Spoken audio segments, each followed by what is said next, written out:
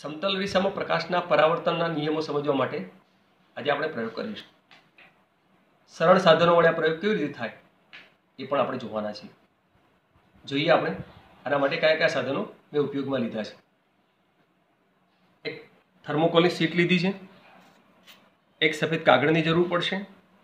એક માપપટ્ટી લીધી છે. એક કોણમાપક લીધું છે. સમતલ અરીસો લીધો છે. અને સમતલ અરીસો સરળતાથી આ થર્મોકોલની સીટ અને કાગળ ઉપર ઊભો રહી શકે એટલા માટે એક સ્ટેન્ડ બનાવ્યું છે. તમે જોઈ શકો છો કે બે પટ્ટી નાના લાકડાના ટુકડા આવી રીતે ઊભા ફિટ કર્યા છે. એના ઉપર બે આડી પટ્ટી ફિટ કરી છે. સમતલ અરીસો ઊભો રહી શકે એટલા માટે એક ખાંચ તૈયાર કરી છે. અહીં તમે જોઈ શકો છો કે સમતલ અરીસો આ કાગળ ઉપર લંબ સ્વરૂપે ઊભો રહે છે. હવે આપણે પ્રયોગની શરૂઆત કરીએ. સૌપ્રથમ સફેદ કાગળ ઉપર અરીસો જ્યાં ગોઠવવાનો છે ત્યાં હું એક રેખાખંડ દોરીશ. આ રેખાખંડને હું નામ આપીશ એમ વન, એમ ટુ. હવે કોઈ પણ એક માપનું આપાત કિરણ આ અરીસાના માં દાખલ થાય એવી રીતે હું અહીંથી એક કિરણ દોરું છું. આ જે કિરણ છે, એ કિરણ અરીસા તરફ જવાનું છે. એટલે એને નામ આપીશું આપાત કિરણ.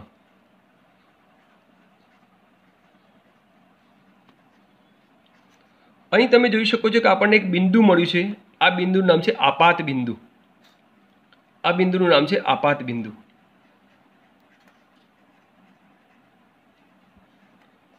હવે સમતલ અરીસાને હું આપણે જ્યાં રેખાખંડ દોર્યો હતો, એના ઉપર બરાબર સામે ગોઠવું છું. એક લેસર ટોર્ચ વડે આપાત કિરણ જ્યાં દોર્યું છે, ત્યાંથી કિરણને હું દાખલ કરું છું. તમે જોઈ શકો કે લેસર ટોર્ચમાંથી નીકળેલું કિરણ એ અરીસાની સપાટી પર પડે છે અને અરીસાની સપાટી પરથી પાછું ફેંકાઈ અને એ પરાવર્તન થઈને આપણને સામેની તરફ બહાર મળતું દેખાય છે. આ કેવી રીતે બને છે? એ સમજવા માટે આપણે ટાંકણી વડે પણ પ્રયોગ કરીએ. સૌ પ્રથમ આપાત કિરણ ઉપર હું બે ટાંકણી અહીં ફિટ કરું છું. હવે આ બે ટાંકણી તમે જોઈ શકો છો કે આપાત કિરણ ઉપર મેં ફિટ કરી છે.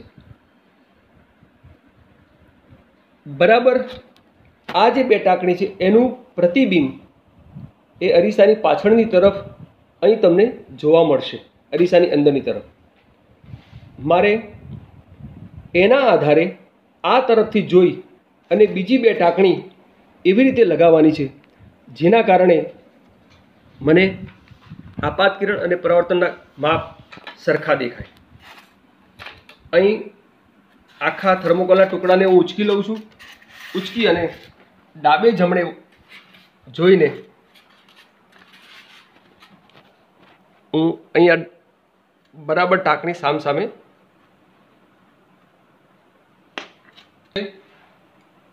આ બે જે ટાંકણી છે, એનું અંદર જે પ્રતિબિંબ દેખાય છે, એના આધારે હું અરીસાની બહારની તરફ બીજી બે ટાંકણી લગાવું છું. આ બીજી ટાંકણી હું અહીંયા ફિટ કરું છું. હવે તમને દેખાશે કે આ બે ટાંકણી બહાર લગાડેલી અને અંદરની તરફની જે બે ટાંકણી છે, એ સમરેજ છે. એવી જ રીતે આપાત કિરણ ઉપર, આપાત કિરણ ઉપર જે બે ટાંકણી લગાવી છે, એ અને હવે બહારની તરફ જે બીજી બે ટાંકણી લગાવી અને એનું જે પ્રતિબિંબ અરીસાની પાછળ મળે છે, એ પણ અંદરની તરફ સમરેક દેખાય છે. હવે આપણે આ સમતલ અરીસાને અહીંથી લઈ લઈશું. અને આ જે ચાર ટાંકણીના જે બિંદુ છે, એ પૈકી આપાત કિરણના બિંદુ આપણને મળ્યા છે અહીંયા. એને અહીંથી હટાવી લઈએ છીએ. આ જે બે નવા બિંદુ મળે, એને પણ આપણે અહીંયાથી હટાવી લઈએ છીએ. અહીં તમે જોઈ શકો છો કે આ બિંદુને જોડવાથી આવો એક ખૂણો મળે છે. આ જે કિરણ મળ્યું આપણને એ પરાવર્તિત કિરણ છે.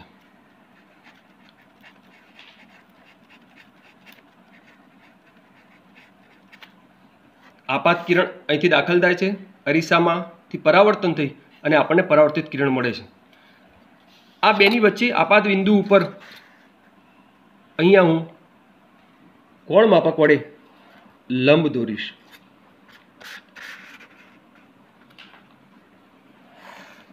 હવે આપણે આ બંને ખૂણાને માપીશું. આ બંને ખૂણાને માપીશું ત્યારે જોઈ શકો છો તમે કે બંને ખૂણાનું જે માપ છે એ આપણને સરખું દેખાય છે. આ ખૂણાનું માપ પિસ્તાલીસ અંશ છે. દસ, વીસ, ત્રીસ, ચાલીસ, પિસ્તાલીસ. આ ખૂણાનું માપ પણ દસ, વીસ, ત્રીસ, ચાલીસ અને પિસ્તાલીસ છે. આ બંને ખૂણા જે છે એ પિસ્તાલીસ પિસ્તાલીસ અંશના ખૂણા મળે છે. આ ખૂણા પણ પિસ્તાલીસ પિસ્તાલીસ અંશના ખૂણા મળે છે. આના ઉપરથી આપણને પ્રકાશના પરાવર્તનના ત્રણ નિયમો સાબિત કરી શકીએ. પહેલો નિયમ છે આપાત કિરણ અને પરાવર્તિત કિરણ. આ જે લંબ દોર્યો છે એની સામસામે બાજુએ છે. બીજો નિયમ છે આપાત કોણ? અને પરાવર્તન કોણના માપ હંમેશા સરખા હોય છે.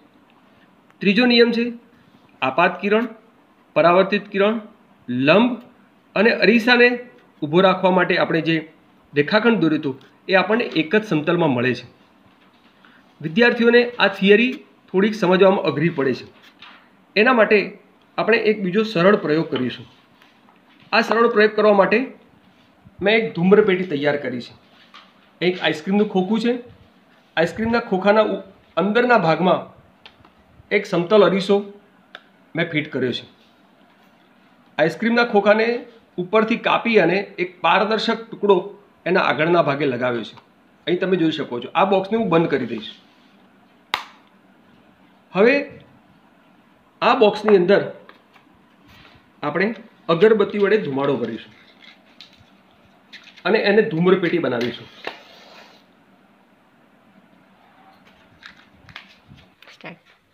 અગરબત્તીને હું આ બોક્સની અંદર જે કાળું પાડ્યું છે, એમાં હળવેકથી અગરબત્તીને દાખલ કરું છું.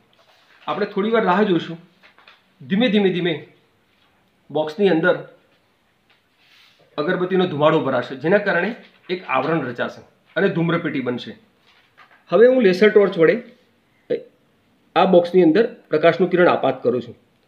તમે જોઈ શકશો કે આપાત કિરણ દાખલ થાય છે અને સામેની તરફથી આપણને પરાવર્તિત કિરણ જોવા મળે છે.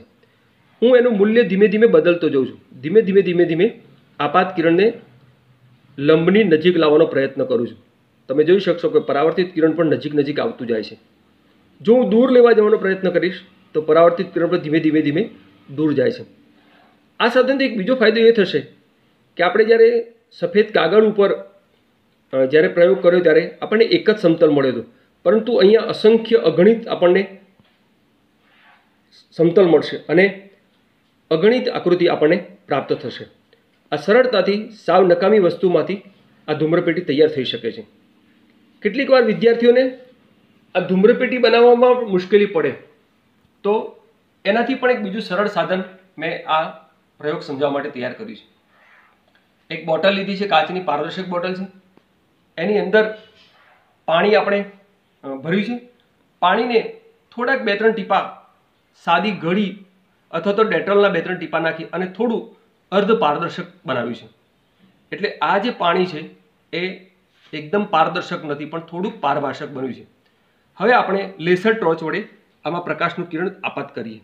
તમે જોઈ શકશો કે જેવી રીતે ધૂમ્રપેટી કામ કરતી હતી, એવી જ રીતે અહીં પણ આપાત કિરણ અને પરાવર્તિત કિરણ સરળતાથી આપણે જોઈ શકીએ છીએ. તો પ્રકાશના પરાવર્તનના નિયમો સમજાવવા માટે આપણે આ એક સાધન, આ ધૂમ્રપેટી બીજું સાધન અને આ કાચની બોટલ એ ત્રીજું સાધન વાપરી શકીએ અને વિદ્યાર્થીઓની સંકલ્પના સરળતાથી આપણે સિદ્ધ કરી શકીએ.